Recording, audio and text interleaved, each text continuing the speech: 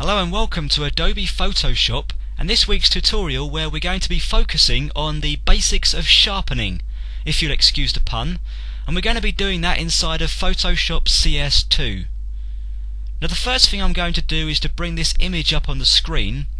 It's one that I created just a few moments ago and consists of two squares side by side, one being a lighter grey and the other a darker grey and I'm going to use this image to demonstrate the various sharpening filters we have access to inside of Photoshop and how each of them works.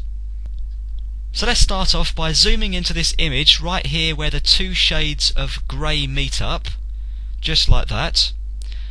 And then I'm going to go up to the filter menu and select sharpen and then I'm presented with five different sharpening filters which may be different to what you see on your system depending of course on what version of Photoshop you're currently running.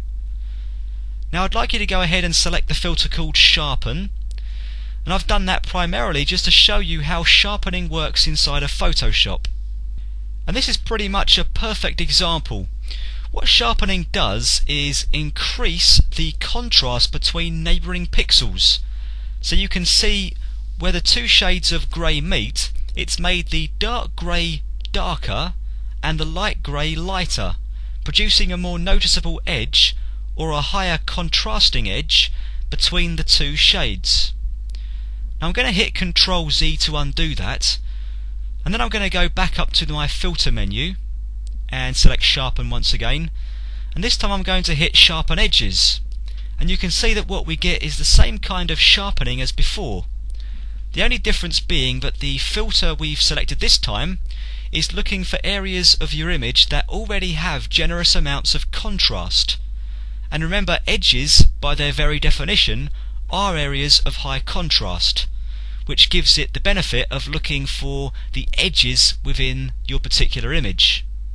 Okay, we're going to hit Ctrl Z again to undo this Sharpen Edges filter, and then go back up to Filter menu, and select Sharpen again, this time we're going to select Sharpen More. Now I'm not going to insult anybody's intelligence by going through this function in any detail whatsoever. Suffice to say that we are now sharpening the image more than we did with the standard sharpen filter. And another thing to note, once we have any of the previous three filters applied, would be the option of applying the same filter on top of itself by reselecting the filter in the filters menu or by hitting Ctrl F on the keyboard which applies the last used filter. And you can see that by hitting Ctrl F a few times I've doubled and then trebled the amount of sharpening I've applied. So I'm just going to hit Ctrl Alt Z just a few times now to bring back the original image. And there we have it. Now although the sharpen, sharpen more and sharpen edges filters are very simple to use, that's also their biggest disadvantage as they don't come with any controls or settings you can't ever be sure really about how much sharpening you're actually adding to your image. They've also been around since the early days of Photoshop so basically they were designed to work with low resolution images. That doesn't mean to say that you shouldn't use them at all, it just means that there are better ways to sharpen your image inside of Photoshop. So let's go back up to the filters menu and select sharpen again and we have two more options to choose from. Now if you're not running Photoshop CS2 then you won't be able to see Smart Sharpen filter in the sharpen menu and that's because that's a new function only available in this version of Photoshop. You should however see the unsharp mask which has been Photoshop's number one sharpening tool since its introduction quite a few years back. Now I've got to say that the unsharp mask is a really fantastic filter, but in um, this version of Photoshop it has been surpassed by the brilliance of the Smart Sharpen filter, which we'll be taking a look at in a more advanced sharpening tutorial. Okay, so let's select the unsharp mask and straight away we've got an improvement on the other sharpening filters discussed earlier because we have a dialog box containing different settings for increasing and decreasing the amount of sharpening we're using. And before I go any further I must just say that although this filter is called the unsharp mask, it doesn't actually have anything to do with unsharpening or masking inside of Photoshop for that matter. The name comes from an old process, so I'm told, used to sharpen photographic film by blurring a film negative and combining it with the original film positive, which would greater highlight the edges inside the photograph, and hence give the appearance that the photograph had been sharpened. Okay, now we've cleared that up, let's take a look at the dialog box. We've got a preview checkbox here. Now when this is checked, it lets us preview the adjustments we're making inside the actual image. We've also got this preview panel here that lets us keep a closer eye on what's happening with the image itself.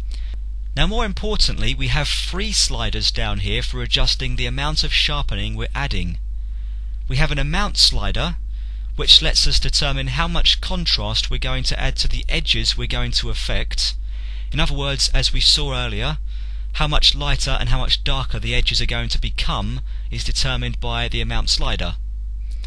Next we have a radius slider and that lets us increase the size of the edges. So the larger the radius value, the wider the edges become.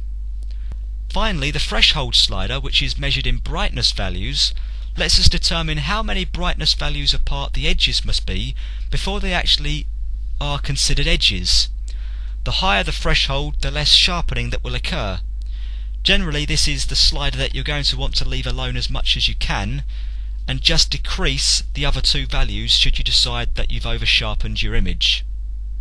Okay, so I'm going to zoom into 800% here and then raise my amount value to 200% to give me some pretty dark transitions. Now we're not seeing anything yet because our radius value is set to 0.1 and if I go ahead and increase that gradually by scrolling my mouse on the word radius you can see that the size of the edges are starting to increase. They're not getting any darker because I'm not changing the amount value, but they are getting larger. Okay, I'm going to leave that at around 3 pixels, and then just to show you what the threshold does, I'm going to increase it, and you can see that we're losing straight away some of the sharpening that contains a tonal difference of less than whatever we're inputting here and I'm going to input say 40 levels or 40 brightness values. Okay I'm going to reset the threshold to 0 next I'm going to decrease the amount value to 60 and now you can see that the radius of our edges are the same 3 pixels but the edges are no longer as dark as they were because we've reduced that amount value Okay, I'm going to cancel out of here and then minimize the image. And I'm going to bring up another image entitled Kitten1. And I just wanted to make you aware that sharpening in Photoshop would never be able to repair an image like this one. There's way too much blurring going on and we've lost way too many details to be able to bring them back. So I'm going to close that image and bring up another image called Kitten2 which we're going to be able to improve in Photoshop. So let's go up to our filter menu once again and the sharpen submenu and select our unsharp mask. Now I'm going to drag and zoom the preview so it's set on Mr. Kitten's head and I'm going to raise the amount to around 190% and I'm going to set the radius to about 0.8 pixels and leave the threshold at 0. Now if I click and hold the left mouse button inside the preview pane, it's going to give me the image before we made any alterations, and then release it to see the image with the values below applied. So if you're satisfied with the image, and I am at the moment, so I'm going to click OK to accept the settings. Now I'm just going to zoom in on the head and so we can see what's going on and click Control Z and see the image before the alterations and then click Control Z again to see the image with the unsharp mask applied and of course depending on the resolution of video that you're watching this tutorial at you may or may not be able to see the true effect of the unsharp mask there. Well I hope you found this tutorial on basic sharpening to be helpful. Thanks very much for watching.